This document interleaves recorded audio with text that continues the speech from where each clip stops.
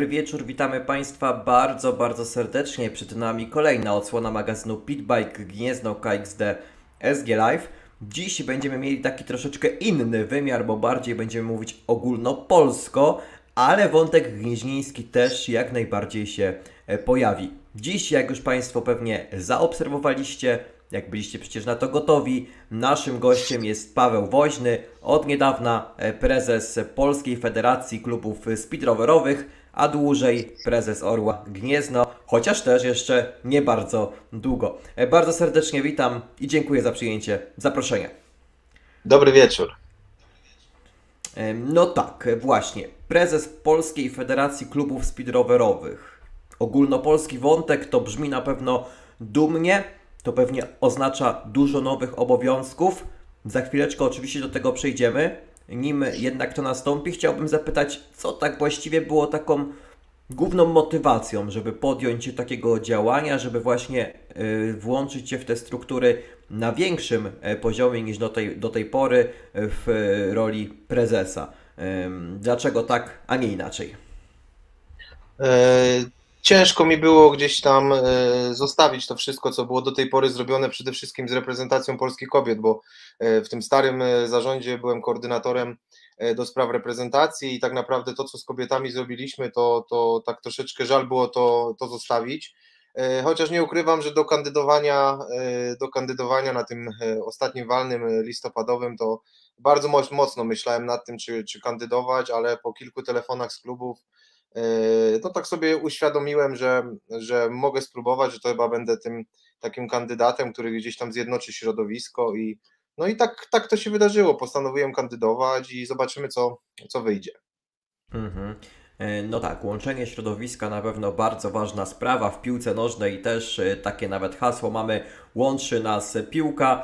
Czy tam piłka wszystkich łączy? Nie wiem, ale tu może nie wszystkich połączy speedrower. Rzeczywiście, aby to wszystko jak najlepiej wyglądało, bo wiadomo, że monolitem zawsze można zdziałać więcej. Natomiast wiemy, że zarząd to nie tylko prezes, są też inne osoby, które w strukturach Polskiej Federacji Klubów Speedrowerowych są. Ja dzisiaj przeglądając bloga PFKS-u widziałem, że tam z nazwiska wszyscy są wymienieni, że role już zostały podzielone, każdy ma swoje zadania. No ale może troszeczkę więcej o tym też e, powiedzmy. Jak to wygląda ten podział zadań w Waszych strukturach? E, powiem tak, po wyborach, bo tak naprawdę można powiedzieć, że ze starego zarządu zostałem tylko ja i Artur Bujnowski, więc nowe trzy osoby pojawiły się w gronie zarządu PFKS-u, więc po tym walnym E, zebraniu.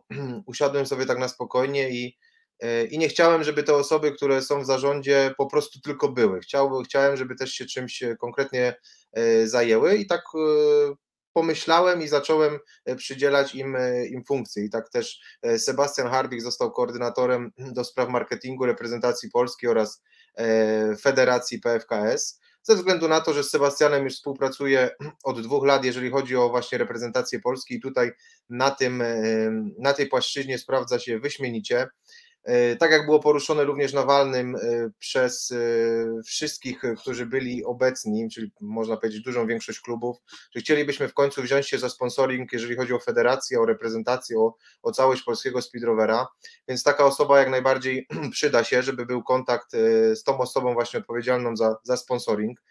Tutaj również Chciałbym się tutaj ukłonić do, dla klubów, dla osób, które gdzieś mają wejścia, e, które gdzieś współpracują w klubach właśnie odnośnie sponsoringu, marketingu, żeby się do Sebastiana, jeżeli mają kogoś, kto by chciał wejść, e, wejść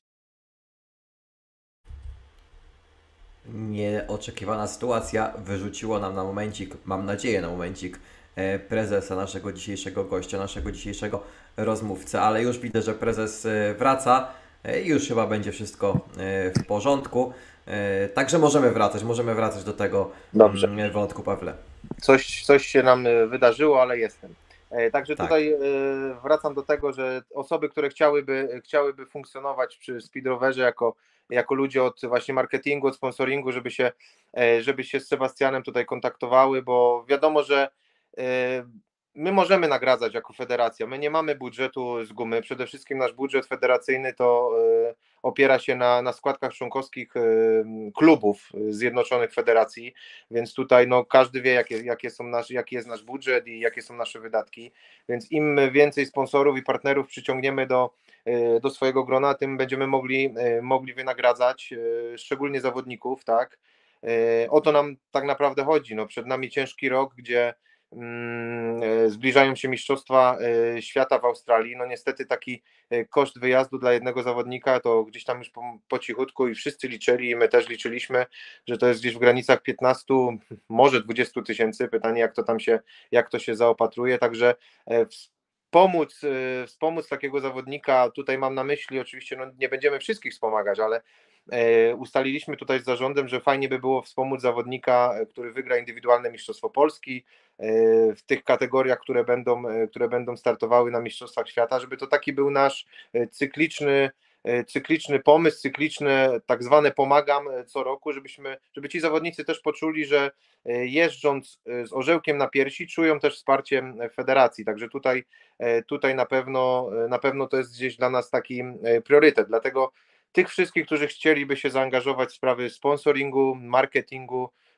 proszę o kierowanie wszystkich pytań Y, pytań, ogólnie do rozmowy z Sebastianem Harbichem, którego przydzieliłem właśnie jako koordynatora e, do spraw marketingu w PFKS-ie.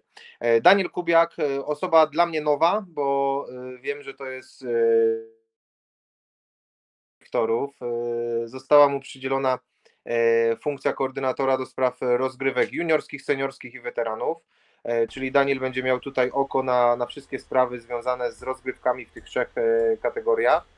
E, I tutaj też, tak jak wszyscy, będę też e, prosił wszystkich, żeby jakieś, już nie mówię o raportach comiesięcznych, ale po prostu na zebraniach zarządu, żebyśmy e, sobie porozmawiali na tematy właśnie te, za które te osoby są odpowiedzialne, bo myślę, że warto rozmawiać.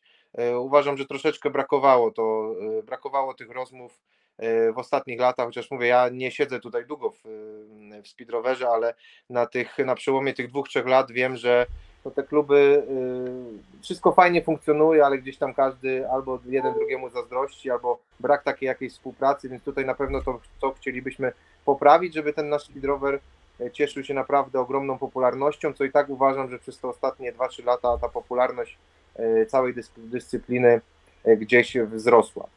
Artur no właśnie, właśnie, tutaj wejdę w słówko, bo tak generalnie E, jak tutaj jesteś już troszeczkę czasu, to jak postrzegasz ten e, polski speedrower? Co jest dobre, a, a, a co złe? Też o to chciałem dopytać. Może jak już jesteśmy przy tym wątku, jak już zacząłeś o tym, o tym mówić, a zaraz do tego podziału e, funkcji jeszcze, jeszcze, jeszcze wrócimy.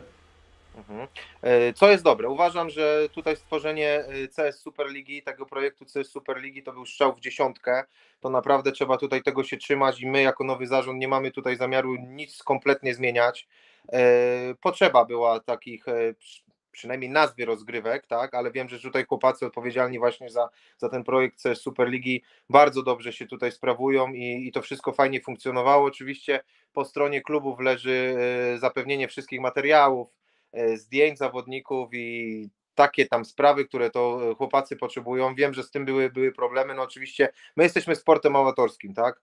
My nie możemy klubom nakazać, bo będą jakieś kary, chociaż niektóre, niektórzy y, członkowie i działacze klubowi mówią, że powinny być właśnie kary, żeby to wszystko, wszystko się dostosowało tak, jak powinno być, no ale jeżeli federacja nic nie daje, to dlaczego ma żądać nie wiadomo co, więc tutaj kolejny ukłon z mojej strony do klubów, dla, dla działaczy, dla osób, do osób, które odpowiedzialne są za, za wizerunek danego klubu, żeby współpracowały z nami, z mediami, właśnie z osobami z CS Superligi, bo to tak naprawdę my dla tych klubów to robimy. E, wszystkie informacje, które znajdują się na CSC, to, to, to tak naprawdę są informacje o, o danych klubach, wyniki meczów, statystyki. Chłopacy naprawdę poświęcają kupę, kupę swojego czasu, żeby, e, żeby to zrobić. Naprawdę robią to bardzo, bardzo profesjonalnie, więc to na pewno na plus. Plusów jest więcej, tu myślę, że nie będę, nie będę gdzieś wchodził w jakieś tam szczególiki, bo każdy wie, że e, tych drużyn w speedrowerze co roku jest coraz więcej. E, młodzież szkolimy, e, mówię, szkolimy na zasadzie wszystkich klubów, bo tych żaczków wypływa z klubów bardzo dużo, więc fajnie, no życzyłbym sobie, żeby tak dalej było. w końcu ta Liga Żaków, tak jak w zeszłym roku mieliśmy 8 drużyn, no to chyba z tego, co mi tu chłopacy mówią, nigdy nie było tak, tak dobrze, jeżeli chodzi o dzieciaków.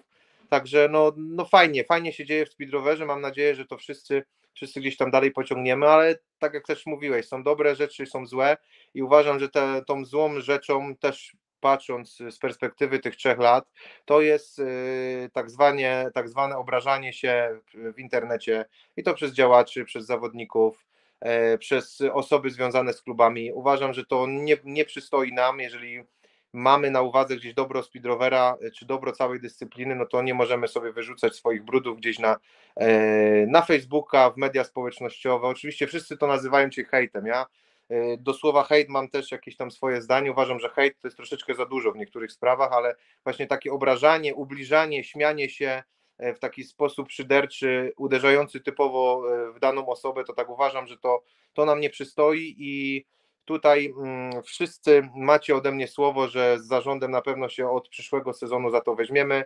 E, nie będzie pobłażania na, na coś takiego, bo prawda jest taka, że wszyscy, wszyscy działacze, prezesi, kluby, wszystkie osoby, które mm, przypisane są do danego klubu, robimy wszystko, żeby ta dyscyplina się rozwijała, a jeżeli taki sponsor czy widz, który nie wie nic o speedrowerze, wchodzi na jakąś stronę i, i widzi szydercze mm, jakieś wpisy na daną osobę czy na sędziów, bo sędziowie to też, e, to też jest temat e, kolejny, gdzie też pewnie poruszę. E, no nie może czegoś takiego być. Musimy, musimy być jednością w tym danym, w danym środowisku, które jest bardzo małe, naprawdę jest bardzo małe i uważam, że musimy się wszyscy szanować. Mhm. No tak, zdecydowanie. To mogę się pod tym podpisać obiema rękoma. Rzeczywiście te takie obraźliwe komentarze, gdzieś tam szydercze, taką dziecinadę można powiedzieć w cudzysłowie, czasami szło zaobserwować, y, ale no miejmy nadzieję, że takich zjawisk będzie jak najmniej. Natomiast jeszcze wróćmy do tego podziału ról, no bo zdaje się, że wszystkiego nie udało się mówić. Mi też na chwileczkę wyrzuciło jakieś tutaj e, perturbacje techniczne dzisiaj są, ale zdaje się, że tutaj jeszcze kropki e, nie udało się postawić. Co jeszcze można na ten temat powiedzieć? Tak, e, jeszcze mamy dwóch członków zarządu, którzy też, e, też odgrywają bardzo ważne role. Artur Bujnowski, czyli to człowiek też e, z byłego zarządu. Tutaj powierzyłem mu, powierzyłem mu jako, powierzyłem mu jako osobie koordynatora do spraw rozgrywek żaków, czyli do rozgrywek tych najmłodszych.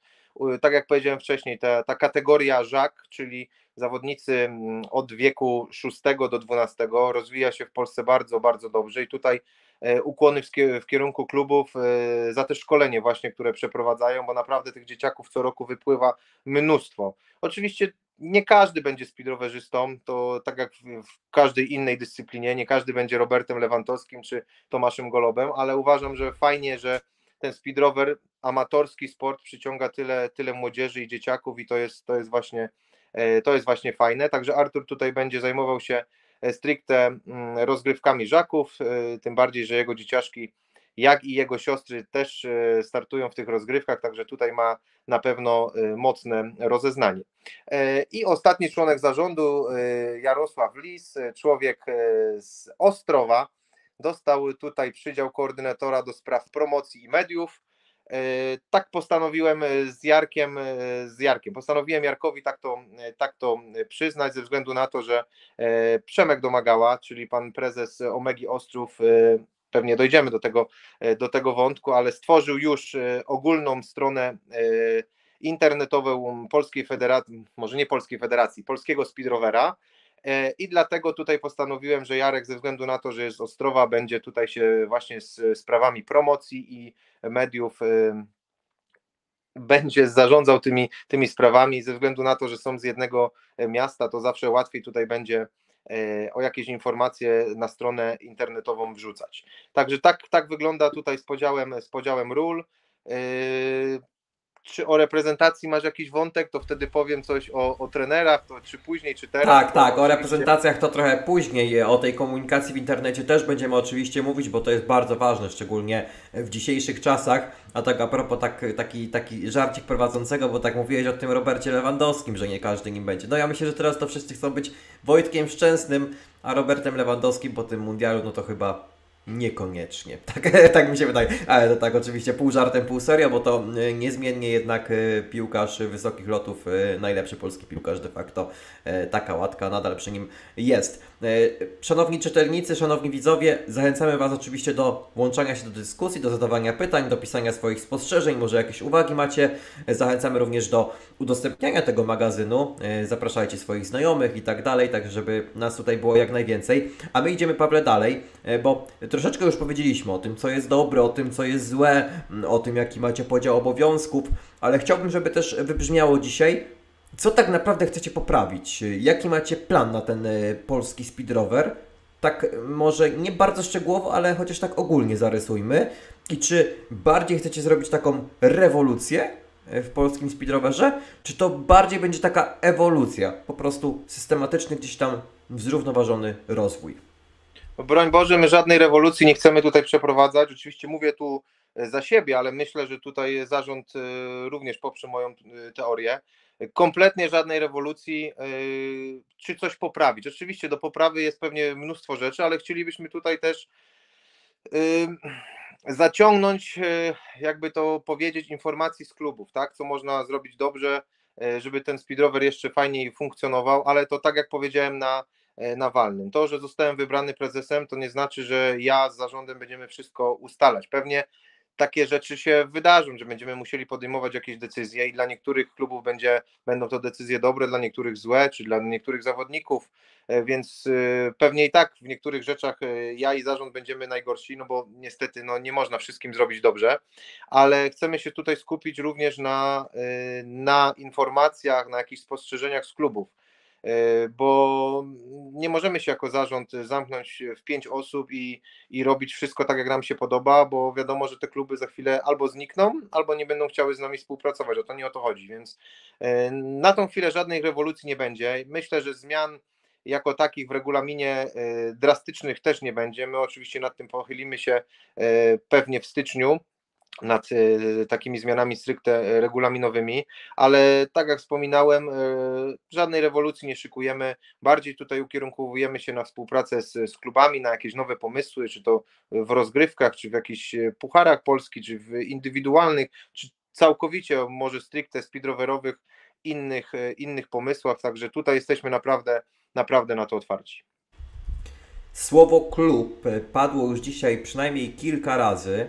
E, mówisz tutaj o współpracy z klubami, o tym, że chcecie też wiedzieć, jakie oni mają gdzieś spostrzeżenia, jakie uwagi ewentualnie też. E, a ja się zastanawiam, jaka tak właściwie jest na ten moment e, rola klubów w tworzeniu tego polskiego speedrovera jako całości. Mm, czy ta rola jest taka, jaka powinna być? Czy te kluby są rzeczywiście zaangażowane, żeby to kompleksowo dobrze wyglądało? Czy te kluby to bardziej każdy sobie, że tak to określę? Jak to postrzegasz? No właśnie tu y, postrzegam to 50 na 50. Może kogoś obrażę, może nie, ale uważam, że nie wszystkie kluby podchodzą do tego, do tego y, aż tak profesjonalnie, jakbym to nazwał. Są kluby, które po prostu się zgłaszają, jadą w lidze, a są kluby, które y, poświęcają i tutaj mam na myśli, mam na myśli osoby w klubach, które poświęcają swój czas, przede wszystkim cenny czas na to, żeby coś podziałać przy stronie internetowej, właśnie wysłać jakieś informacje do CS Superligi, powrzucać jakieś zdjęcia, e, coś, co chce im się robić, tak? Więc tutaj, no nie wiem, czy dotrzemy do tych osób, czy, czy te kluby obrażały się wcześniej, czy na poprzedni zarząd, czy na inne osoby, tego, tego nie wiem. To wszystko przypuszczam, że ten najbliższy sezon, najbliższy rok pokaże, czy my jako nowy zarząd coś zmienimy, czy nie zmienimy, ale y, chciałbym bardzo, żeby niektóre kluby oczywiście, bo tu nie będę mówił o wszystkich, bo mówię, za chwilę się wszyscy obrażą, że, że my jednak robimy, a, a ktoś tutaj nam wytyka, ale chciałbym, żeby te, te wszystkie kluby, które zgłoszą się przede wszystkim do rozgrywek ligowych, tak, bo wiadomo, że na rozgrywkach ligowych wszystko się wszystko się zaczyna i zamyka, bo żeby nie liga, nie byłoby dzieciaków. I to też już myślę, że na walnym też u nas było to poruszone, żeby nie sukcesy zawodników ligowych poszczególnych klubów, nie byłoby żaków, nie byłoby juniorów, to wszystko się napędza, więc e, tutaj na pewno byśmy chcieli e, poprawić tą tak zwaną komunikację między zarządem, klubem, między klubem a właśnie mediami, żeby to wszystko współgrało, żebyśmy sobie na przyszły rok w listopadzie powiedzieli super, udało nam się, może w najbliższych latach będzie to jeszcze lepiej, ale na tym nam e, zależy, żeby te kluby z nami, z nami współpracowały, a my oczywiście też z tymi klubami będziemy współpracować. To powtarzam po raz kolejny, to nie jest tak, że Paweł Woźny jest teraz prezesem i ma do tego czterech, czterech członków zarządu, z którymi będę wszystko ustalał. Otworzyliśmy, utworzyliśmy specjalnego maila zarząd.pfks.gmail.pl i tam kluby mają, mają pisać do nas swoje sugestie, swoje pomysły, swoje nawet może niezadowolenia, bo wiadomo, że tak jak powiedziałem wcześniej, my na pewno niektóre decyzje zarządu nie będą się wszystkim podobały. No to jest normalne, to, to, to w każdym świecie to jest, jest czymś normalnym, więc pod tego maila też już mogę teraz oficjalnie powiedzieć, że prosimy kierować wszystkie pomysły, sugestie, jakiekolwiek informacje związane o speedrowerze, o tym, co można poprawić, o tym, co może jest źle. My tutaj naprawdę się nie zamykamy. E, już, już w tym okresie, gdzie otworzyliśmy chyba cały tydzień, dwa maile już przyszły, także na pewno się nad tym pochylimy przy następnym spotkaniu zarządu i, i na pewno będziemy takie sprawy, mm, takimi sprawami się zajmować i na pewno opinia publiczna, tu mam na myśli stricte speedrowerowa, dowie się, co na takich zebraniach zarządu było. Mhm. Rozumiem, że dopiero e, nad tymi regulamina, regulaminami doty, dotyczącymi rozgrywek będziecie się jeszcze pochylać, ale mimo wszystko chciałbym jeszcze słówko zamienić na temat tych zasad ligowych. Myślę, że taki ważniejszy wątek to ta młoda CS Superliga. No bo e, często mówiło się, że ta młoda CS Superliga to jest młoda, ale tylko z nazwy. No i właśnie, jest jakiś pomysł, żeby ta młoda CS Superliga rzeczywiście była młoda, żeby coś z tym zrobić, żeby jednak tej młodzieży w tej, w tej, w tej młodej CS Superlidze było więcej? E, no tak, e, ta młoda CS Superliga, z tego co wiem, e, był zamiar taki, żeby tam jeździli, jeździli najmłodsi i młodsi, a przede wszystkim, żeby ta liga była dla juniorów. No od tego roku wprowadziliśmy już taka nasza pierwsza decyzja i to też za pośrednictwem walnego, które się odbyło, gdzie też były sugestie, że, że coś trzeba zmienić i faktycznie e, wprowadziliśmy górną granicę wieku, e, czyli kategorię młodzieżowca, zawodnik do 23 roku życia to będzie zawodnik najstarszy w, w drużynie. Będzie to ta jedna taka osoba. W, w każdych zawodach w programie klub będzie mógł zgłosić właśnie młodzieżowca, dwóch juniorów, czyli zawodników do 18 roku życia, dwóch kadetów i jednego młodzika. Oczywiście kategoria młodzieżowiec U23 to nie jest tak, że musi jechać stricte zawodnik w kategorii młodzieżowiec, bo może to jechać e, równie dobrze inny zawodnik młodszy niż 23 lata, także e, tu trzeba iść w tym kierunku. Bardzo dużo zastrzeżeń było, że nie ma, nie ma ligi juniorów, więc chcielibyśmy tutaj właśnie w tym kierunku iść, żeby ta młoda CS Superliga była stricte dla kategorii od młodzika do juniora, żeby, żeby ci zawodnicy mogli jeździć, bo tak naprawdę dla tych zawodników jest, jest mało, mało jazdy w sezonie. E, no i na tym nam tak naprawdę zależy. Sami bardzo dobrze wiemy, że w rozgrywkach CS Superligi, czyli i w tej najwyższej klasie rozgrywkowej i w tej e, pierwszej lidze, no ten poziom dla młodzika czy dla kadeta no jest ogromny. To jest przepaść niesamowita, więc ta młoda CS Superliga ma być po to, żeby oni się właśnie rozjeździli, żeby mieli możliwość pojechania w lidze, a może w przyszłości, a może nawet w tym samym sezonie, jeżeli zrobią ogromny postęp, dostali szansę występu właśnie w CS Superlidze. Mhm. No rozumiem, rozumiem. Czyli generalnie już teraz ta młoda CS Superliga będzie nie tylko z nazwy, ale również na to, że gdzieś tutaj takie zmiany. Będzie odmłodzona, tak, będzie odmłodzona, bo sam, sam też wiem, też zgłaszałem przecież drużynę e, Orła Gniezno do tej ligi. Co prawda, no my wygrywaliśmy, ale ale y, no nie o to chodziło, bo y, ten senior tam, powiem szczerze, nie pasował, tak? Y, założenia były takie, że ten senior odpowiada, bo nieraz są sytuacje, były takie sytuacje, że ten senior był, senior był kierowcą, kierownikiem drużyny i, i trenerem, dlatego też ta osoba pełnoletnia uważam, że, że tutaj powinna być. Chociaż w przyszłości chciałbym, chciałbym osobiście, zobaczymy oczywiście jak to będzie, ale chciałbym osobiście wyrzucić tą kategorię młodzieżowiec, y, młodzieżowiec z młodej, bo tak jak tutaj wcześniej rozmawialiśmy, to ma być stricte y, liga juniorska, więc, y, więc zobaczymy jak to będzie. No robimy coś. Kolejna zmiana jakaś, zobaczymy czy to wyjdzie, czy nie. Mam nadzieję, że tutaj więcej drużyn się do tej ligi zgłosi i no i czas pokaże. Mhm. Tak, jeszcze się zastanawiałem, to nie jest może stricte jakaś bardzo ważna zasada, ale tak sobie myślałem, że taki Kowalski jak przyjdzie, przeciętny Kowalski na speedrower, to nie do końca łapie o co w tym wszystkim może i momentami chodzi. raz, że jest punktacja nieco inna, chociaż ja akurat tę punktację bardzo lubię, uważam, że jest fajniejsza niż nawet na żużlu. Ale dwa, brakuje mi na przykład troszeczkę takich kolorów kasków, bo my patrzymy po bluzach, musimy patrzeć po numerach. Tak by było wiadomo, że w tych kaskach jadą gospodarze i w tych y, goście, mm, tak jak na żużlu zresztą jest szansa, że te kolory kasków gdzieś tam wrócą, no bo przecież kiedyś to było, e, kilkanaście czy kilka lat temu. E, obecnie tych kolorów kasków nie ma. No i pytanie, czy tutaj myślicie o tym, żeby może coś w tym zakresie zmienić?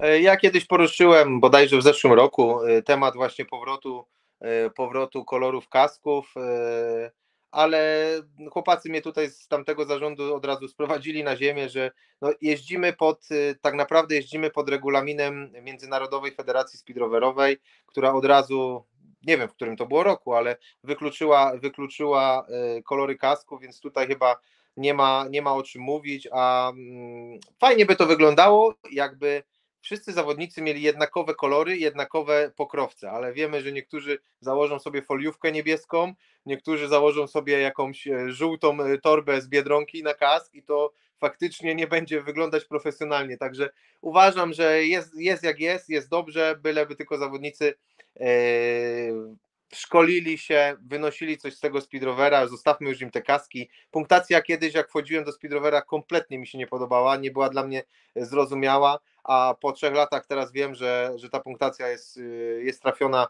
w dziesiątkę, bo ten jeden punkt tak naprawdę, bo wszyscy się zastanawiają, czemu ten gościu, który przyjeżdża czwarty, dostaje jeden punkt. Ja mówię, mi to mm, potrzebowałem dwóch lat, żeby zrozumieć, po co jest ten jeden punkt. Ten jeden punkt jest bardzo ważny, bo w żużlu, jeżeli ktoś ma defekt, to tak naprawdę, czy ma defekt, czy przyjeżdża czwarty, yy, ma i tak, i tak zero punktów. A tutaj niestety trzeba, albo niestety, trzeba dojechać do mety nawet yy, na tej czwartej pozycji, bo ten jeden punkcik w ogólnym rozrachunku meczowym ma bardzo duże znaczenie. No tak, i potem mamy takie też emocjonujące, które w cudzysłowie oczywiście momenty, kiedy zawodnik szybciutko zbiera się e, z toru, żeby na przykład po upadku dojechać do mety, albo po defekcie gdzieś tam walczy ze sprzętem, żeby te linie mety minąć. To też jest taki, myślę, smaczek speedrovera jak najbardziej. Natomiast ja nadal będę drążył ten temat, e, że speedrover dla kibica jeszcze jest troszeczkę mało przystępny. No dobra, te kaski zostawmy w spokoju. Jest jak jest. E, dla zawodników to myślę nie ma większego znaczenia, dla kibiców no wydaje mi się, że byłoby łatwiej to wszystko rozczytać i tak dalej, jakby te kaski były. Okej, okay, nie ma, są numery.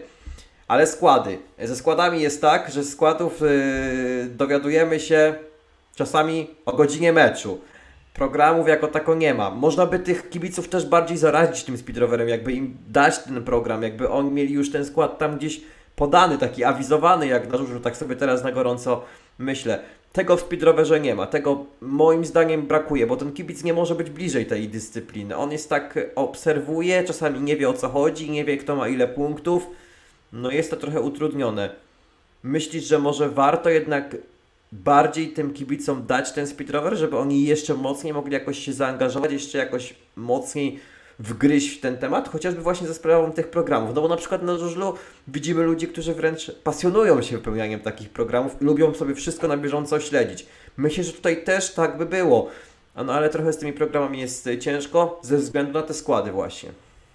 E, no tutaj też bym sobie życzył, żeby, e, żeby tak było, że w środę czy w czwartek przysłowiowy dzień dać sobie na, na zgłoszenie E, składów i byśmy wiedzieli w jakich składach i e, kto jedzie e, i udaje się w niedzielę i tak jak mówisz, przychodzi kibic, bierze program już, już z nazwiskami, oczywiście to jest fajne, ale tak jak powtarzam, jesteśmy sportem amatorskim i ja też prowadziłem już różne rozmowy z kierownikami drużyn, z prezesami.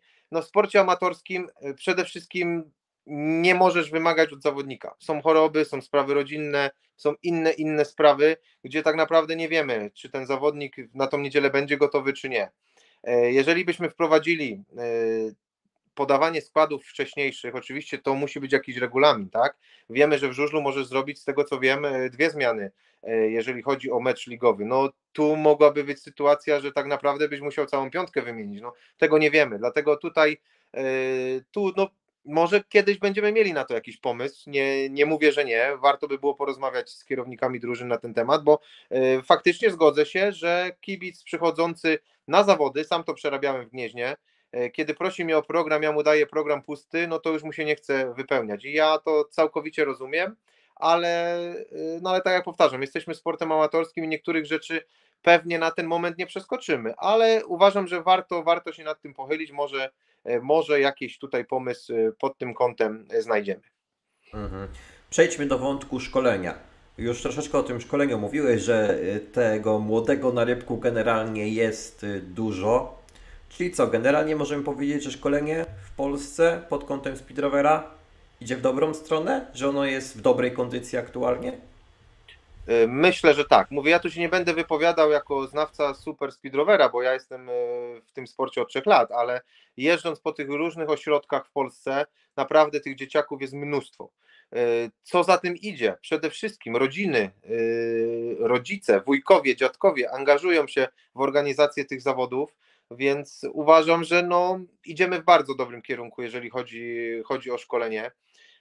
Fajne te zawody wyglądają. Te dzieciaki przede wszystkim czują radość z tego, z tego sportu, także fajnie, fajnie na, ta, na coś takiego się patrzy. No i też bym sobie życzył, żeby tych ośrodków było coraz, coraz więcej. Wiem, że są też takie ośrodki, szczególnie na południu, które mają kilka, kilka albo kilkanaścioro tych dzieci, ale no niestety nie mogą wystartować w lidze, bo albo nie mają wsparcia w rodzicach, albo nie mają wsparcia w osobach, które y, gdzieś są w, w klubie, ale tak naprawdę nie mają czasu na to. Y, I nad tym pewnie ubolewam, może nie tylko ja, ale zarząd, że, że te takie drużyny mogłyby się pozgłaszać do ligi, no ale no, pewnych rzeczy tutaj nie, nie przeskoczymy. Jeżeli jest jedna osoba odpowiedzialna za klub, no to ona nie będzie poświęcać też swojego czasu E, żeby jeździć z tymi dzieciakami wszędzie, ale, ale no szkoda, szkoda, że tak jest. Na niektórych e, zawodach e, z tymi dzieciakami te kluby pojawiają się i fajnie, bo tutaj podam przykład Kalet, gdzie mm, bodajże chyba w parach i w drużynówkach zdobywają medale, także też fajnie, że coś takiego, coś takiego się dzieje. Tutaj Sebastian Harbich, jeżeli chodzi o Częstochowę, to ma ponad chyba 150 dzieciaków, hmm. dzieciaków w klubie. Yy, Przemek domagała u siebie w, w Ostrowie też ma kupę dzieciaków. Fajnie szkółka funkcjonuje w, w Żołędowie, bardzo fajnie funkcjonuje w Lesznie. Także no fajnie, niech się to wszystko rozwija i miejmy nadzieję, że kiedyś te żaki zasilą właśnie yy, zasilą składy drużyn tych w młodej CS Superlidze bądź w projekcie CS Superliga. Mhm. No tak, miejmy nadzieję. A jeszcze Mateusz, ja tobie wejdę, mhm. wejdę tobie jeszcze w słowo, bo tu, my, my, tu mówimy o szkoleniu, e, o szkoleniu zawodników, ale chciałbym też e, dodać, że e, na walnym zebraniu naszych delegatów PFKS-u padło coś takiego jak panel sędziowski i postanowiliśmy, że taki panel sędziowski powstanie od przyszłego sezonu. Jak to wyjdzie, zobaczymy. Wiem, że temat sędziów to jest bardzo, bardzo taki temat tabu i nigdy to nie wychodziło bo pytanie, albo się komuś chciało, albo nie, albo sędziowie mieli swoje teorie, albo nie. I tutaj za ten panel sędziowski w PFKS odpowiadać będzie Paweł Segierski. E, myślę i wiem, że mamy wspólne, wspólne jakieś pomysły na to wszystko. Chciałbym, żeby, żeby temat sędziów był w końcu zakończony, żeby nie było jakichś e, kompletnie durnych, bo ja to nazywam durnych e, wypowiedzi, komentarzy, bo E, najgorsze jest to, że jeżeli ktoś wykrzykuje, że sędzia jest taki i owaki i drukuje i w ogóle robi, o Boże, co to nie ja, a w, w pomeczowym arkuszu y, pisze mu ocenę dwójkę albo jedynkę, ale nie, nie jakby to powiedzieć, nie pisze dlaczego, tak, tylko pozostawia to bez, bez komentarza, no to uważam, że to jest, to jest troszeczkę głupota, albo robienie komuś na złość, albo żeby y, z kogoś się śmiano. Y, wiem, że sędziowanie może nie jest na najwyższym poziomie w, w Polsce, bo patrząc z perspektywy tego, co się działo w Europie, na Mistrzostwach Europy w, w, Anglii, tam nie było dyskusji z sędzią. Tam ktoś szedł do sędziego, sędzia powiedział swoje, odwracał się, szedł 30 metrów dalej i, i nie było dyskusji. A u nas pozwalamy na obrażanie sędziego, na dyskusję z sędziami, e, sami stawiamy ich troszeczkę pod presją, chociaż uważam, że sędzia powinien sam czuć się pod presją, no bo zdecydował się na, na coś takiego, zdecydował się na sędziowanie, więc gdzieś też, też powinien czuć presję, ale nie możemy y, dać wchodzić sędziom na głowę. To on jest osobą decyzyjną, to on odpowiada za prowadzenie spotkania. Oczywiście sędziowie znajdą się i ci gorsi, i ci lepsi, ale jeżeli my będziemy wprowadzać e, tą taką nerwowość, no to wiadomo, że e, ten sędzia, tak bym to nazwał, słaby psychicznie, no nie poradzi sobie i za chwilę za rok go, za rok go nie będziemy mieli. Od dawien dawna wiadomo, że sędziowie popełniali błędy, popełniają i popełniać błędy, będą. Dlatego chcemy tutaj z Pawłem e, Cegielskim stworzyć, e, Paweł zaproponował nazwę panel sędziowski, do tego wiem, że będzie rozmawiał albo już jest po rozmowach e, z takimi bardzo doświadczonymi sędziami, którzy będą zajmować się tym panelem. O szkoleniach jeszcze sobie nie rozmawialiśmy. Myślę, że na pewno coś, coś będzie. Chcemy wprowadzić punktację sędziów. Chcemy również sędziów nagradzać za, za dobre E, sędziowanie, tak żeby tych ludzi troszeczkę zachęcić, żeby to nie było tak, że dzisiaj mamy dziesiątkę, strzelam oczywiście, dzisiaj mamy dziesiątkę sędziów, a w 2024 obudzimy się, że tych sędziów będzie tylko trójkę.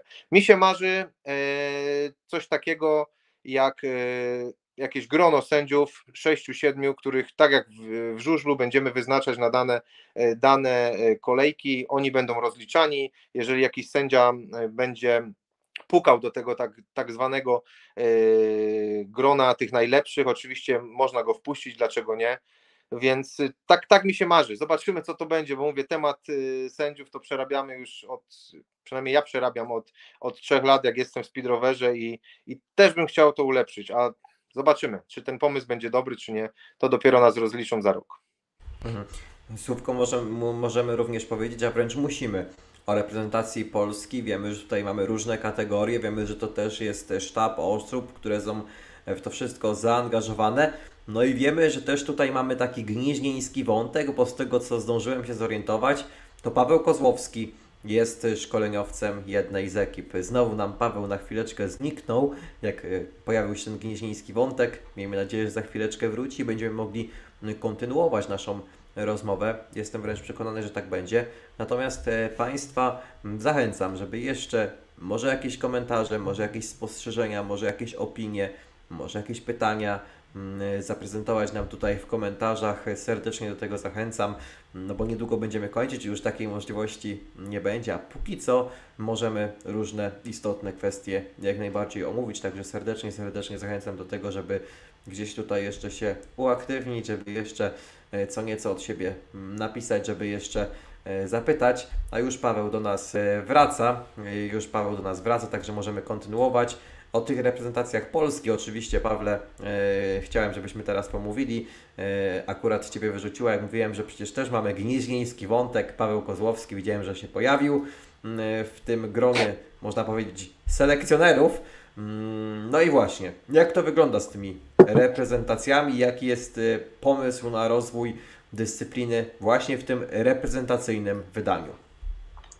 E, no, pomysł jakby, mm, za pomysł odpowiadam ja, tak bym, tak bym to nazwał, y, bo i w starym zarządzie poprzedni prezes Marcin Niedzielski dał mi tą funkcję i E, uważam, że poradziłem sobie z nią 50 na 50. E, z kobietami, czyli z dziewczynami, z kadrą damską wyszło to bardzo super, wyszło to super. Jednym słowem po prostu super. Dziewczyny przyjeżdżały z wielką chęcią na te zgrupowania. Z chłopakami wy, wyszło to, no nie będę tutaj ściemniał, wyszło to kiepsko, ze względu na to, że chłopacy mają dużo jazdy, chłopakom się nie chce, E, chłopacy tylko przyjeżdżają wtedy, kiedy są jakieś e, właśnie ważne zawody, typu międzynarodowe, e, jakieś mistrzostwa, to wtedy chłopacy są w gotowości, nawet sami dzwonią, kiedy są zgrupowania.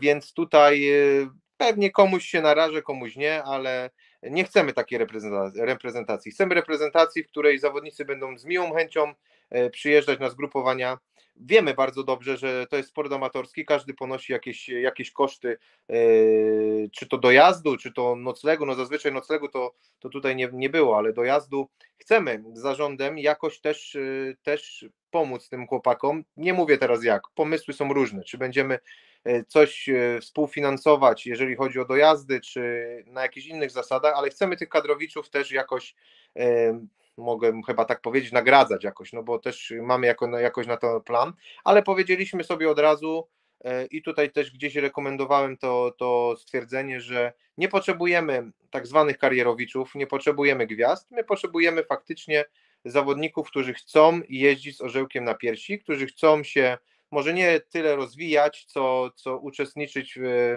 w projekcie reprezentacja Polski i na pewno nie będziemy stawiać tutaj na wynik, bo priorytetem dla nas będzie atmosfera właśnie w reprezentacji i powoływanie takich osób, którzy ze względu na wszystko przyjadą, stawią się i, i będą funkcjonować właśnie w tej reprezentacji kosztem właśnie wyniku. Chcemy pokazać, że mm, jeżeli ktoś chce i wyraża, y, wyraża pokazuje chęć, żeby, żeby w tej kadrze jeździć, to on w pierwszej kolejności będzie brany pod uwagę, jeżeli chodzi o, o drużynówki jakieś y, międzynarodowe. To jest nasz taki y, priorytet. Od tego roku, czyli od przyszłego roku, powołałem również reprezentację młodzików i kadetów. To jest to nowość, bo tak naprawdę w międzynarodowej, w międzynarodowej rywalizacji speedrowerowej czegoś takiego nie ma.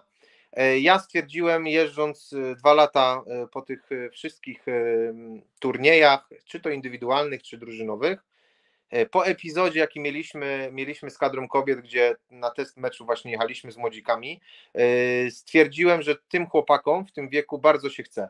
Ten chłopak, jak dostał koszulkę reprezentacji, to tak naprawdę pojawiały się łzy w oczach i się cieszył, robił sobie setki zdjęć i naprawdę był dumny, że w tej reprezentacji był.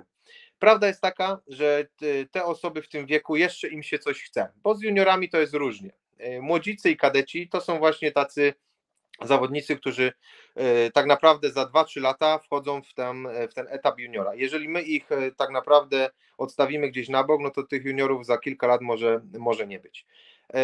Wkradł mi się do głowy taki pomysł, żeby zamiast tych indywidualnych pucharów Polski, które były do tej pory, Mm, zrobić coś takiego jak Speed Rover Camp. Camp, wziąłem tą nazwę oczywiście z żużla, bo takie speedway campy też, też są organizowane, między innymi tutaj Krystian Plech organizuje w Gdańsku. E, coś takiego zrobić na zasadzie, że spotykają się to grono właśnie tych młodzików, kadetów, bo to różnica wieku jest prawie żadna, spotykają się na jednym torze, wyznaczyliśmy sobie na takie zgrupowania trzy dni, spotykają się na jednym torze, na początku jest krótka rozmowa z trenerem, przygotowanie do treningu. Marzy mi się, żeby pojawił się jakiś psycholog, może jakiś dietetyk, może nawet jakiś znany sportowiec e, z danego miasta, żeby porozmawiać sobie e, krótko ogólnie o sporcie, o zachowaniu właśnie w sporcie, o funkcjonowaniu. Później, e, żeby trener przeprowadził, przeprowadził wspólny trening z wyjaśnieniem tego treningu, jeżeli ktoś robi coś źle, ktoś robi coś dobrze, może będzie miał nawet potrzebę nagrywania takich, takich rzeczy i na końcu zakończyć to, e, zakończyć to jakimś turniejem, czy to indywidualnym, czy drużynowym. Tak to sobie, tak to sobie, mm, tak widzę to. Zobaczymy, jak to oczywiście mm, będzie w praktyce. Za ten projekt tutaj postanowiłem obarczyć, tak naprawdę obarczyć Pawła Kozłowskiego, który gdzieś już w trakcie sezonu mówił, że fajnie fajnie by było, jakby, e, jakby mógł prowadzić, e, może nie prowadzić, ale jakby mógł pracować z młodzieżą, więc pierwsze, co sobie pomyślałem o tym, o tej stworzeniu tej kadry młodzików i kadetów, to to, że Paweł mógłby się tym zająć. Zapytałem się Pawłowi, potrzebował dwóch dni, żeby się zdecydować, powiedział, wchodzę w to, więc e, Paweł ma przede wszystkim papiery trenerskie, więc tutaj nikt nie będzie miał do niego żadnego zastrzeżenia, a co z tego wyjdzie, czy ten pomysł będzie dalej kontynuowany, czy, E, czy nie, no to mówię, rozliczymy, rozliczą nas wszyscy po roku. Ja chcę tylko dodać, że jeżeli chodzi o wszystkie reprezentacje, mam już zaplanowane zaplanowane w kalendarzu e, trzy takie terminy. To będzie na początku sezonu, w środku i, i, i, pod koniec. Nie chcę teraz zdradzać terminów, bo wszystko się okaże, ile drużyn się zgłosi do rozgrywek, żeby te terminy czasami nie, nie uległy zmian. E, zmianie, ale są trzy terminy, w tym jeden termin jest dwudniowy. Chciałbym zrobić coś takiego, jak robiliśmy to w tym roku e, w Częstochowie z kadrą kobiet, gdzie kadra kobiet przyjechała, e, tam było na, trzy, na dwie noce. To też fajnie, fajnie funkcjonuje, bo można odbyć sobie treningi, można gdzieś się spotkać, można sobie wyjść. Taka typowa integracja myślę, że w każdym sporcie jest to potrzebne, więc y, tak to sobie, tak to sobie wymarzyłem, że tak powiem. Tutaj, jeżeli chodzi o chłopaków z zarządu, wszyscy byli za tym, żeby coś takiego stworzyć. Przede wszystkim chodziło nam o tych młodzików kadetów, bo e, prawda jest taka, że w tych pucharach Polski e, w młodzikach jeździły, jeździli żaki, bo tak naprawdę nie mamy tylu młodzików, a w kadetach też jeździły i żaki, i, i młodzicy, żeby tylko dokoptować ilość, e, ilość e, zawodników, więc myślę, że jak połączymy to w tak zwaną kadrę, e, kadrę Polski, no to, to będziemy mieli kiedyś efekt. Jeżeli faktycznie do tego i my jako zarząd i, i trenerzy do tego podejdą profesjonalnie, to myślę, że za, za kilka lat będziemy mieli pociechę z tych kadetów i, i, i młodzików. A co do reprezentacji głównej, to tutaj trenerem cały czas pozostaje Tomasz Pokorski. Tutaj cały czas dostał od nas, y, od nas że tak powiem, zaufanie na, na kolejny rok. Ma sobie w tym roku dobrać, dobrać asystenta, który będzie mu pomagał. Troszeczkę ja go, ja go wrzuciłem, Tomka Pokorskiego wrzuciłem troszeczkę na, na taką głęboką wodę, bo do tej pory zajmował się tylko mm, tak naprawdę ekipą seniorską, czyli zawodnikami seniorami, kadrą seniorską, a od zeszłego roku dostał, dostał również w pakiecie juniorów i weteranów. E, I tak jak powiedziałem, z seniorami no był ten problem, że nie chciało im się przyjeżdżać. Jeżeli chodzi o weteranów, to można powiedzieć stuprocentowa frekwencja i to samo tyczy się juniorów. Kiedy byśmy nie zrobili, gdzie byśmy nie zrobili, to właśnie te dwie kategorie zawsze, zawsze z miłą chęcią przyjeżdżali. Także tutaj stricte będziemy się, e, może nie, nie typowo, ale będziemy oglądać się na tą, na tą ekipę reprezentacji seniorskiej. Tak jak powiedziałem, nie będzie tutaj pobłażania. Jeżeli komuś nie zależy, no to, to też w tej kadrze nie, nie będzie. Także za tę reprezentację odpowiada e, Tomek Pokorski, no i została nam reprezentacja kobiet, o której tutaj nic, nie, nic tak naprawdę nie powiedziałem. Powiedziałem, że wszystko super e, wychodzi, ale tutaj z, e, razem z Pawłem Rajczykiem e, uważam, że zrobiliśmy kapitalną robotę, jeżeli chodzi o te dwa lata. Tak jak wspomniałem wcześniej, dziewczyny się rozumieją, potrafili, potrafiły się zgrać, przyjeżdżają na każde zgrupowania, dla nich to nie jest najmniejszy problem, więc fajnie taką ekipę tworzyć i między innymi, a może i nawet przede wszystkim dlatego yy, chciałem zostać tym prezesem, żeby, żeby właśnie yy, ta reprezentacja kobiet tutaj nie padła. Mhm. No to oby tylko to udało się kontynuować właśnie w kontekście pań, a resztę oby udało się gdzieś tam po, polepszyć, tak jak mówiłeś, gdzieś tutaj między innymi z tymi seniorami, gdzie to nie wyglądało tak, jak wyglądać powinno, jak wyglądać by mogło. Przejdźmy do kolejnego wątku, już do ostatniego wątku, jeżeli chodzi o takie ujęcie ogólnopolskie, bo za chwilkę jeszcze słów kilka zamienimy oczywiście o Orle Gniezno, bo to też myślę ważna kwestia. Komunikacja w internecie. Y, tutaj, y, jak już zasugerowałeś, jak już mówiłeś, oznajmiłeś, zasygnalizowałeś, jest ten nowy portal, ta nowa strona o polskim speedrowerze, jest też CS Superliga, no i jest też aktualnie wciąż czynny blog Polskiej Federacji Klubów Speedrowerowych.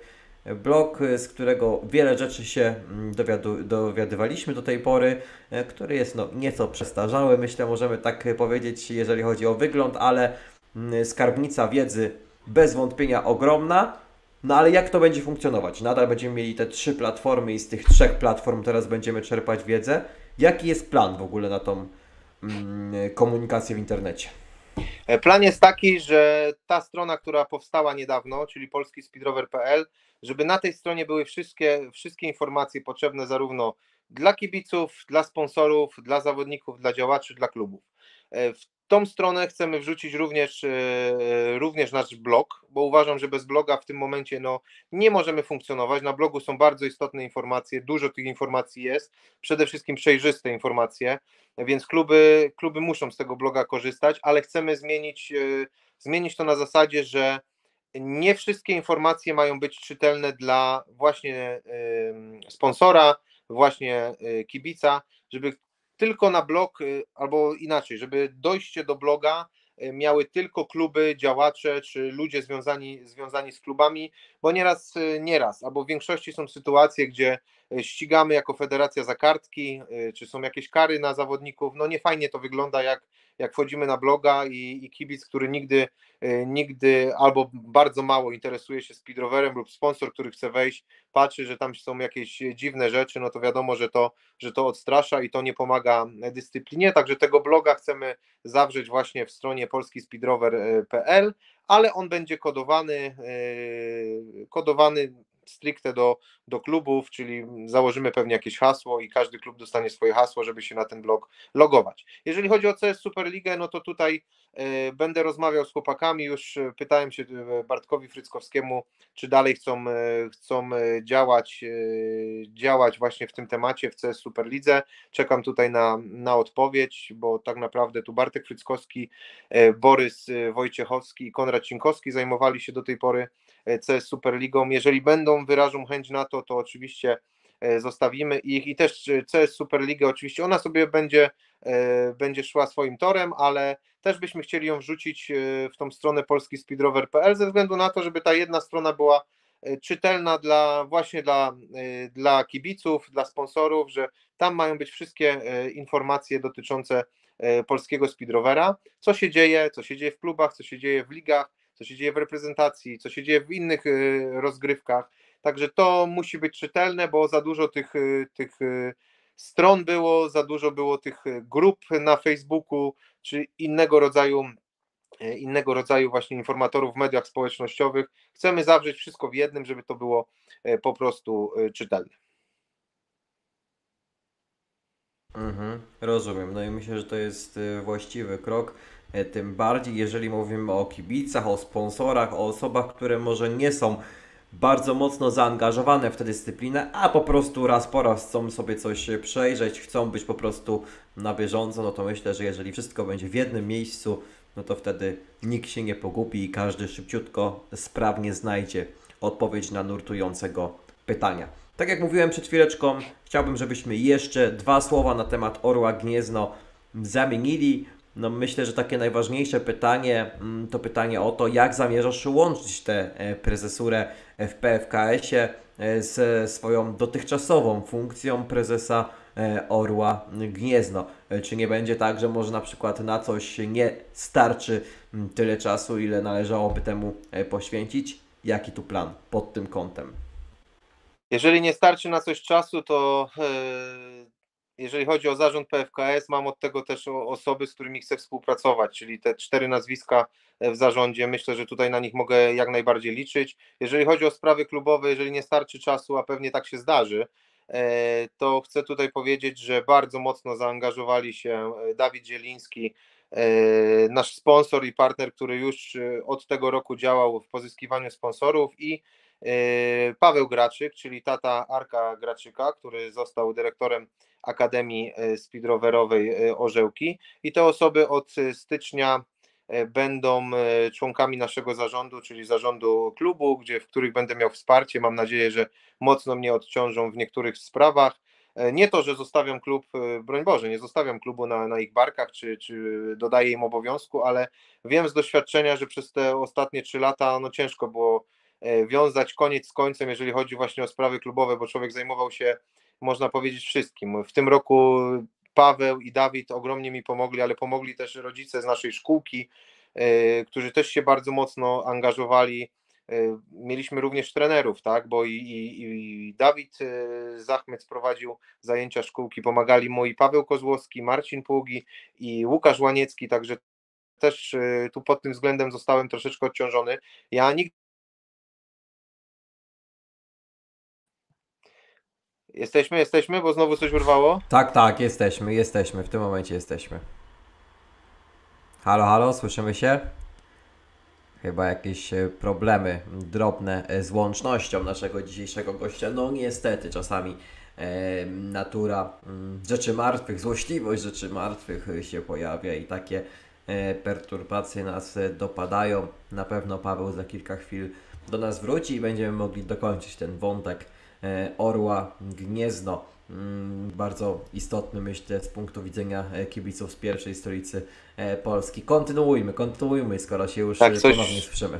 Coś mam problem dzisiaj, ale to chyba standardowo od, jakiś, od jakiegoś czasu, jak się łączymy, non-stop nam nie wyrzuca. Tak nie, nie, ostatnio było dobrze, ale może dzisiaj po prostu urządzenia za nie, nie, nie, nie, nie, nie mogą unieść wagi, nie mogą unieść tak, wagi tak. Tego, tej rozmowy.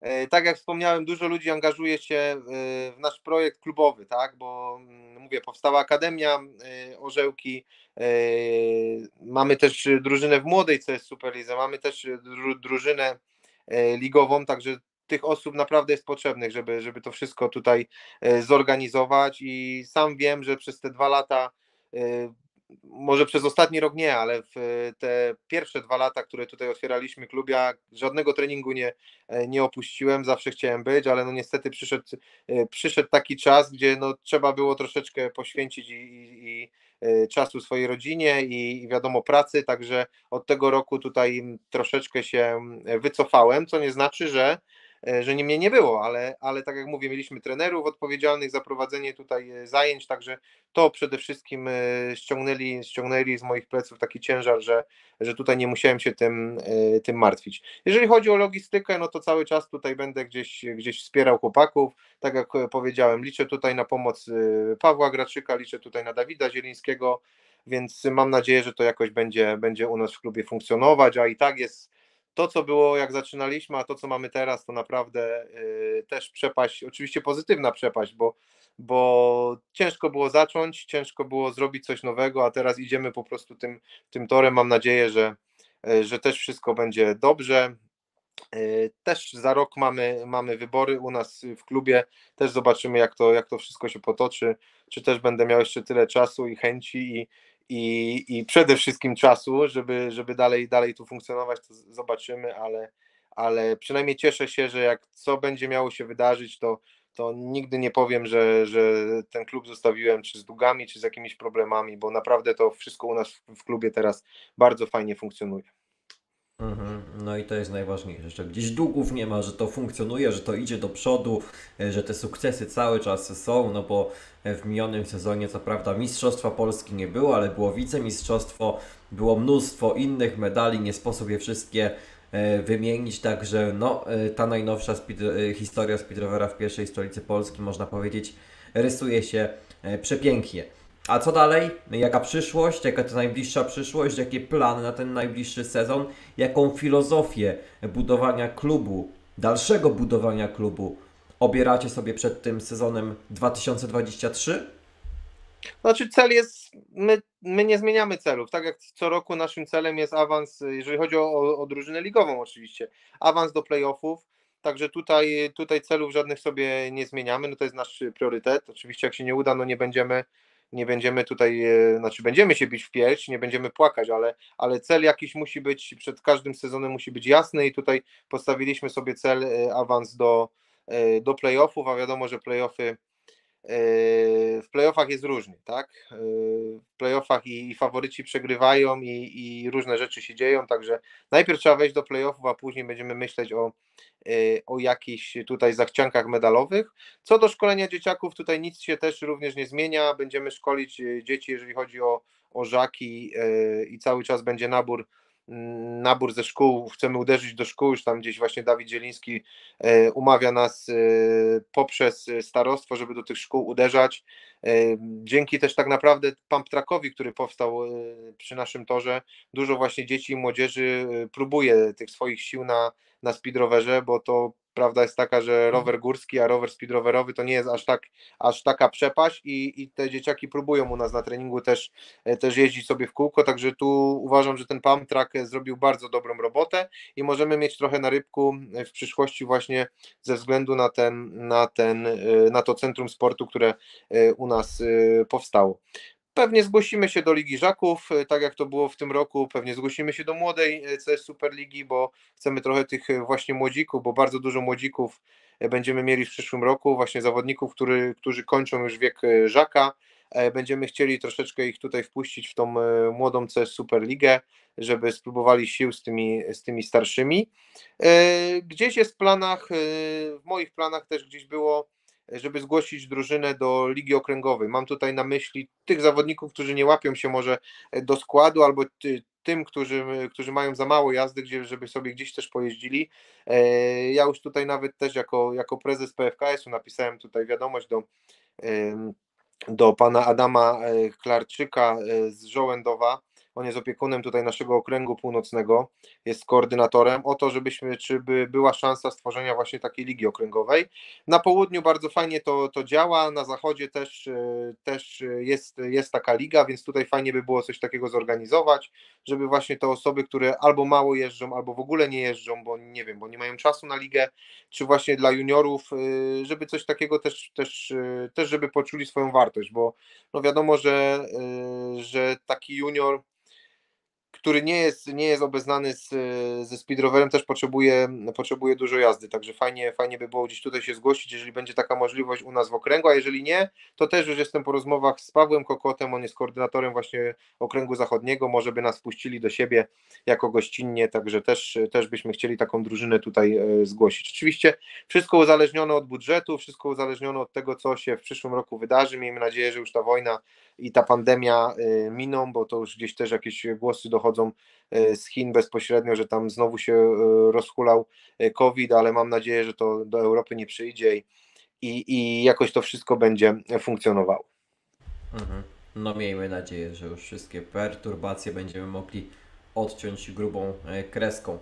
Godzina rozmowy za nami, a więc czas powolutku kończyć. A żeby to wszystko tak już fajnie zapiąć klamrą, to pytanie można powiedzieć na deser. Kto jest faworytem do złota w sezonie 2023? Kto na papierze wygląda gdzieś najmocniej? Wiadomo, może jeszcze nie wszystkie karty zostały odsłonięte, ale myślę, że w środowisku bardzo dużo na ten temat się mówi i myślę, że kto ma wiedzieć, ten wie, jak składy będą wyglądać. Tak, tak jak tutaj powiedziałeś, no jeszcze nie wiemy, nie znamy wszystkich e, składów, gdzieś tam poszczególni zawodnicy czy dołączają, czy pokazują się w, w klubach, że zostają. E, no na tą chwilę na papierze, no to chyba najmocniejszy jest Toruń tutaj, bez, bez, dwóch, bez dwóch zdań. Drużynowy mistrz Polski z tego roku, e, zasilony Dawidem Basem, ogromne wzmocnienie tutaj na pozycji seniorskiej, także tutaj stawiałbym ich pierwszych jako jako e, do e, złotego medalu, takich pretendentów albo obrońców tytułu właśnie do złotego medalu. Kolejną drużyną, którą mi się tak, tak nasuwa, to jest Beniaminek e, w przyszłym roku, czyli Omega Ostrów Wielkopolski. Tam też naprawdę tych doświadczonych zawodników jest mnóstwo. Do tego Paweł Szkudlarek do nich doszedł jako, jako junior, jest jest także mm, jest także z juniorów mają, nie, zapomniałem już teraz nazwiska, ale Przemka domagały syn. Przepraszam za dużo tych, tych informacji. E, ogólnie Ostrów juniorami i, i młodzikami, zarówno i żakami także żyje, także tam też będziemy mieli pociechę e, kiedyś, e, kiedyś z tego ośrodka, jeżeli chodzi o reprezentację, fajnie to się dzieje, więc tutaj ich też stawiałbym jako, jako faworytów. Oczywiście pan e, prezes Przemek powie, że nie, że oni się bawią, ale ja też kiedyś tak mówiłem, że się bawi, a przysz, przyszło co do czego i, i człowiek walczył o te, o te zaszczytne cele, także uważam, że te dwie drużyny są takie na tą chwilę mm, najmocniejsze, jeżeli chodzi o papier. Oczywiście wiemy, że, że papier to, to, to nie wszystko, że tu jeszcze musi wynik iść za tym, kontuzje, różne rzeczy się, się zdarzają, także odpukać, żeby ci zawodnicy, e, wszyscy zawodnicy jakoś ten sezon przejechali bez kontuzji, bez jakichś niepotrzebnych zdarzeń i, i mam nadzieję, że ten przyszły rok będzie takim, e, takim kopniakiem trochę w, w tyłek, dający, dający właśnie efekt e, może nie zmiany speedrovera, ale może, może potrzebna była zmiana zarządu, może potrzebna był, była zmiana prezesa, nie wiem, nie chcę tutaj nikomu zajść e, za skórę, czy tam, czy się wychwalać, broń Boże, bo mówię, ja w tym sporcie jestem bardzo, e, bardzo mało, ale może potrzebna była jakaś zmiana, żeby, żeby to wszystko zaczęło funkcjonować. Ja będę zwracał się również teraz do, e, do wszystkich klubów, żebyśmy współpracowali, żebyśmy się na siebie nie, nie obrażali, bo tych klubów mamy troszeczkę. Wiadomo, że, że jednym się będzie system rozgrywek podobał, drugim się system nie będzie podobał. Także tutaj musimy być jakoś jednością, musimy jakoś dążyć do tego, żeby, żeby wszystko było dobrze i żeby ten speedrower, e, kibice, sponsorzy, ci co odwiedzają nasze strony w internecie, czy właśnie fanpage klubowe, żeby widzieli, że ten speedrower fajnie funkcjonuje, e, że to jest sport przyszłościowy, bo też trzeba sobie powiedzieć, że e, jest duża szansa, wielka szansa, tylko tutaj trzeba zrobić ogromny krok e, w przód, jeżeli chodzi o, o pójście do jakiegoś związku. No mam na myśli tutaj Związek Kolarski, bo nam najbliżej jest tutaj do tego związku, Polskiego tego Związku Kolarskiego. Jest duża szansa, żeby, żeby dyscyplina, jaką jest speedrower, pojawiła się na World Games, bądź też na Igrzyskach Olimpijskich. To jest naprawdę, aspiracje są duże. Wiem, że teraz ludzie się będą śmiali, ale naprawdę są na to wielkie szanse, tylko no musimy pokazać, że jesteśmy, e, mimo że jesteśmy sportem amatorskim, to wszyscy podchodzimy do tego bardzo z wielką powagą i, i z oddaniem, no bo tak, e, tak działają inne, inne sporty i mam nadzieję, że tutaj wszyscy, włącznie z klubami, działaczami, prezesami, pójdziemy właśnie w tym kierunku. Czyli generalnie w tym sporcie amatorskim trzeba być profesjonalnym i rzetelnie Tak podchodzić do tych Tak swoich jest. obowiązków. Tak bym to e, ujął, Tak tak, bym to podsumował. E, Pawle, bardzo serdecznie dziękuję, życzę powodzenia, życzę dużo siły, żeby te wszystkie cele, plany, marzenia udało się e, swobodnie realizować. No i co? No i później będziemy prezesa, jak to się mówi, rozliczać. Bardzo Tak serdecznie jest. Ja już dziękuję. powiedziałem, że do stołka, do stołka nie jestem przyspawany, także jak ktoś będzie miał jakieś lepsze pomysły, czy, czy będzie widział, że robię coś źle, ja jestem skłonny porozmawiać, nawet oddać swoją funkcję, także byleby ta krytyka e, wiadomo była normalna, żeby to nie było gdzieś wyssane z palca, tylko e, a przede wszystkim rozmowa. Rozmowa się liczy, żeby to nie było gdzieś chowane, tylko, tylko właśnie e, głupi telefon, głupi SMS, robisz coś źle, bądź robisz coś dobrze, super.